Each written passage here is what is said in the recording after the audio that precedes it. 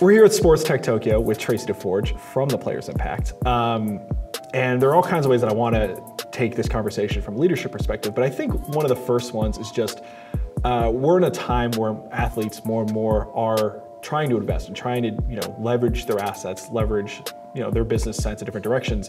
Uh, and I guess for you, what what's kind of where's this going in terms of what do people from the outside not get about it? I think they see just you know a Kevin Durant or a LeBron saying I want to invest in these things. It's a lot more complicated than that. But what goes on behind the scenes that maybe the average person doesn't get goes into the equation for these guys?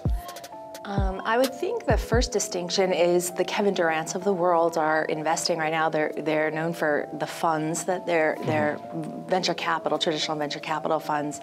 What we're doing that's a little bit different is really bringing the athletes to the startups in a in a new way that is more. Um, angel investing style, mm-hmm. where the athletes are making the decisions themselves. They're not putting money in the hands of a fund manager.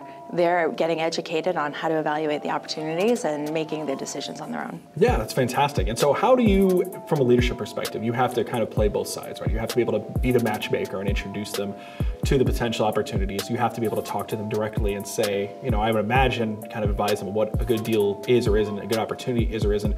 What have you learned from doing this and from trying to facilitate all those relationships? What we do is curate good opportunities, right? So we see a lot of uh, especially sports tech, but we see a lot of deal flow. Mm-hmm. Um, oftentimes, that the athletes are bringing them to us and asking us to evaluate them. If they, if we think it's a good opportunity, we'll bring it back to the broader uh, group, and they'll they'll make again the decision on their own. Okay. What we're learning about their process. As, as they're having these conversations, they're learning about how to evaluate the deal mm-hmm.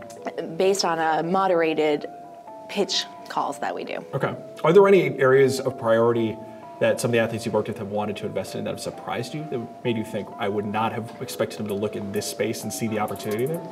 Uh, no, I don't think anything that's surprising. What's more surprising to me is how they'll, um, some of them will be very specific about the types of investments they want to do, if it's esports or their passion points, concussion technology, things mm. like that. So, what do you, I mean, you're a great person to ask because you're seeing all of this you know, before the deals reach fruition, right? Before the wider public sees, well, this is where a lot of athlete investment is starting to go, you've already seen probably 10 times the amount of conversations before it happens. So, what is the future? Where do you think athletes are going to continue to focus their attention and their resources um, over the next several years? Yeah, I see the athletes as making their own decisions and empowering, getting um, more empowered to create new revenue streams via the marketing, using their social influence to not only get better sponsorship deals, but to, to leverage that inside of the startup ecosystem. Are there any particular areas within there? Like you'd mentioned esports before, we've certainly seen a lot of athletes get into that, that space, concussion technology. Where are some of the areas that maybe are, you know, aren't quite on the forefront yet, but you're seeing already back channels and talking to them, this is where some interest might begin to go? Cannabis. that makes sense though. I mean, right? Because it's how many athletes have talked about the fact that look, it's non-addictive versus uh, you know prescription pills. Obviously, there's some downsides yeah. there. So, well, I mean, there's also sort of the sexiness of a new market mm. and the opportunity that's coming from uh, you know a return on your investment yeah. in that industry. But yes, they they can understand from a medicinal side, exactly. maybe from pain management, yeah. etc. So there's the wanting to get into an industry that's up and coming, and then there's the it makes sense for them as individuals. So how do you, you know, look into the other side of it? Obviously, this is an emerging industry. Obviously, there's a lot of interested parties with financial backing want to get into it. How do you kind of evaluate, even as this industry is taking shape, what is a real opportunity and what is not, and what is worth the time and what isn't? That's a great question. We're, we're working all the time to see what the landscape looks like and relying on smarter people than myself to help us navigate that. So if it's a deal in a specific vertical, we look to bring in an expert that can help us do that.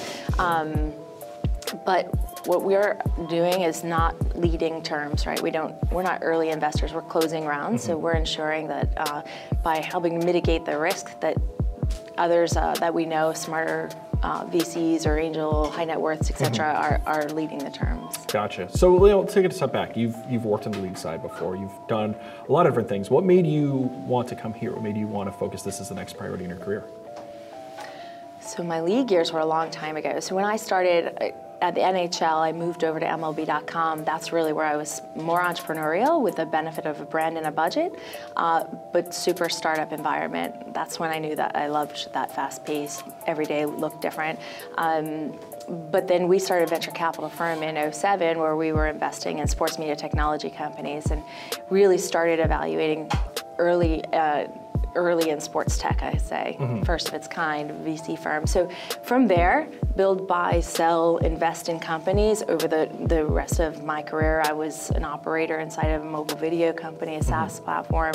Um, why this makes sense for me is it's a culmination of all my experience on the sport, on the professional sports side, the early days of, of sports tech investing, and uh, I think I think it's a, we found a market need for the players to have some education and access to this environment. So where I guess where is uh, in the broader picture, not just you know with you, but in the bigger picture, where do you think things are going to be going with athlete investment in the future? What do you think will be seen trajectory-wise that hasn't been happening so far? You mean like the type of deals or how, see what's different about how we look at is how they're investing, right? They're mm-hmm. not giving their money to a fund manager. Yeah. They're actually taking the time to dig in and do the due diligence and to understand not from just deploying capital, but even when they're evaluating opportunities to be brand ambassadors. Yeah. You know, we, we really see our roster in, it, through three lenses, the athlete investor, the athlete entrepreneur, and the athlete in transition.